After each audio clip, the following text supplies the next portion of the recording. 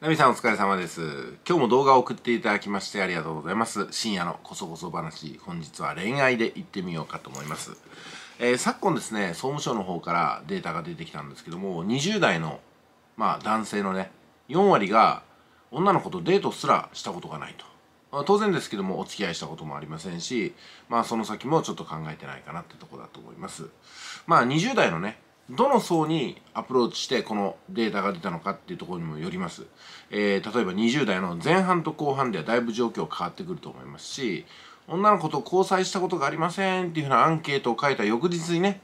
なんかねお付き合いが始まるかもしれませんし様々ですけども。まあ一つのデータとして様々なデータの中の一つをチョイスして20代の男性の4割がお付き合いしたことがないっていうところをクローズアップしたのかなとも取れます。もしかしたらね別のところには別のデータがあるかもしれませんけどね。さあしかしですね、まあ、この20代4割が女の子とお付き合いしたことがないよっていう風なデータを信じたとしてもですよ。じゃあ今度時を巻き戻して昭和10年代大正時代、まあ、そこまでいかなくてもいいですね。昭和10年代20年代この辺りに時間を巻き戻していきます。今からそうですね70年ほど前に巻き戻してみますとおそらく昭和の30年代ぐらいまでまあ婚前交渉は基本的にダメと。でまあ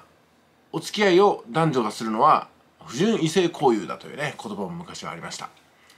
そして言い名付けっていう制度もありましたしお見合い結婚が主流だった時もあったりそれから職場結婚といってね上司の方が仲を取り持ってどこどこの取引先の娘さんといや自分の部下をこうね縁談をまとめるみたいな感じで、えー、あったのかもしれませんねそういう流れがね。そうなってくるとねおそらくですけども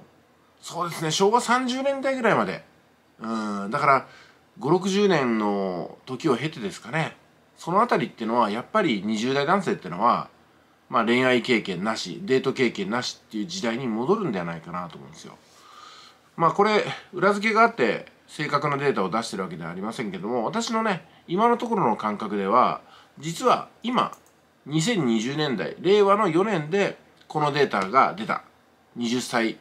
20, 20歳代の男性の4割がデートしたことがないっていう現象はもしかしたらねこの70年前の20代の男性と同じような状況だったかもしれませんね。まあ、当時は戦時下ってこともありましたんで、えー、特に、えー、なんですかね戦場に行く前に急遽おお見合いして縁談をまとめて、えー、出会ったその日に祝言みたいなねそんなこともあったかもしれませんけども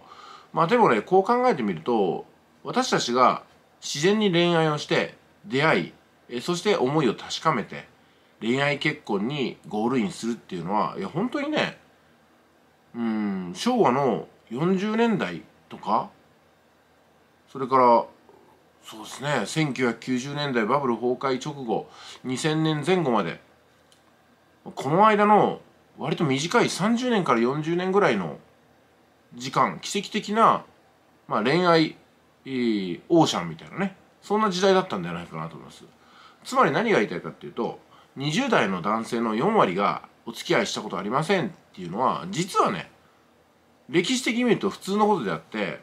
どちらかというと高度経済成長からバブル崩壊までの30年間ぐらい40年間ぐらいが奇跡的な黄金時代だったのかなと思いますけども、ナミさんいかがお感じでしょうか。今回ね、根拠特にありませんけども、なんとなく私が思っていることをぶらっとお話してみましたけども、まあ、こういうふうなね、たまにはね、根拠がそんなにないこともお話してみてはいかがかなと。私の個人的な肌感覚というやつですよね。はい、それでは今回以上です。ナミさん、こそこそ話、また次回もよろしくお願いします。